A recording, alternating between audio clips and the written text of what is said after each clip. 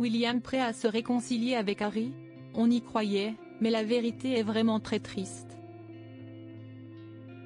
Un projet qui aurait pu les réconcilier. Lorsqu'il était enfant, les princes William et Harry étaient sensibilisés au sort des personnes sans abri, par leur mère, Lady Diana. Cette dernière amenait ces deux bambins dans des refuges pour leur montrer qu'ils pouvaient avoir un impact ces personnes dans le besoin. Alors lorsque les experts royaux ont appris que le prince William ferait l'objet d'un reportage dans lequel il va en aide au SDF, beaucoup se sont dit que, peut-être, le prince Harry aurait pu participer à cet événement. Pour l'expert royal Phil Dampier, Lady Diana serait dévastée de voir que ses enfants ne parviennent pas à travailler ensemble sur un sujet si grave. La princesse Diana a emmené ses deux fils, William et Harry, dès leur plus jeune âge, pour voir comment l'autre moitié vivait. Elle était déterminée à leur montrer que tout le monde ne vivait pas dans des palais. Et que tout le monde ne naissait pas avec une cuillère en argent dans la bouche.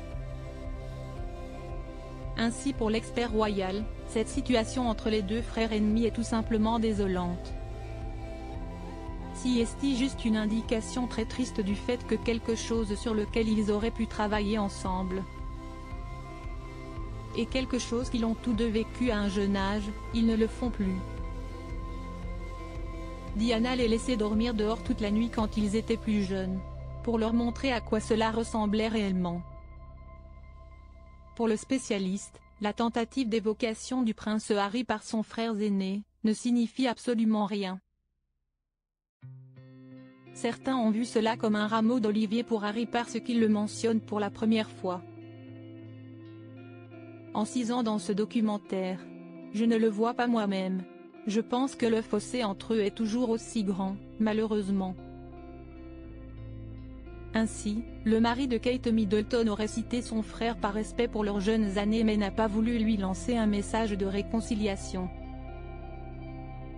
Il ne pouvait pas ne pas mentionner Harry, car il est sur toutes les photos. Et il est dans tous les films où ils sont allés avec Diana.